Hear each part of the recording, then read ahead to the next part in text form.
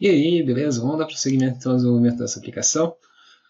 Bom, no vídeo passado a gente viu como limpar esse Create React App aqui para ficar mais legalzinho a nossa estrutura de pastas. Agora eu vou pegar e fazer o seguinte, com esse terminal aberto eu vou clicar aqui, vou abrir um outro terminal em paralelo e vou instalar algumas dependências que a gente vai precisar para desenvolver esse, essa aplicação.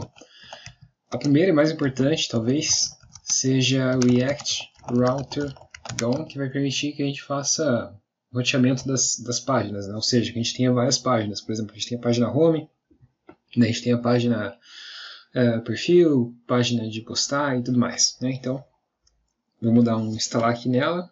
Eu vou pausar, quando estiver instalado eu volto. Bom, até que foi mais rápido do que eu imaginava, já instalou aqui o React Router DOM.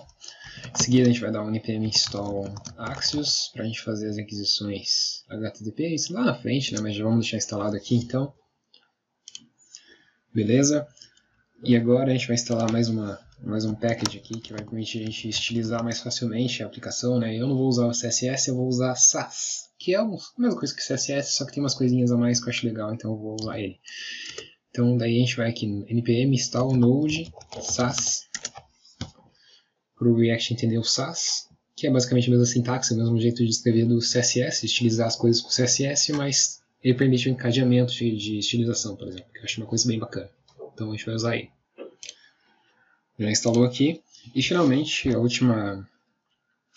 Será que eu instalo isso? O React Icons? Deixa eu pensar se vai ser necessário. Tá, acho que eu não vou instalar o React Icons por enquanto, vou deixar sem. Se a gente precisar dele mais pra frente, a gente instala. Então, seria isso. Essas são as dependências que a gente precisa para desenvolver essa aplicação.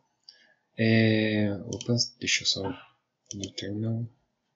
Deixa eu só voltar aqui para o meu terminal. Uh, tá. É, então, beleza.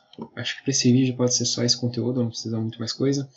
Então, se você está curtindo essa série, se inscreve no canal, dá um like aí no, no vídeo, né, que ajuda bastante. E a gente continua desenvolvendo esse conteúdo no Instagram no próximo. Então, até mais, um abraço, falou!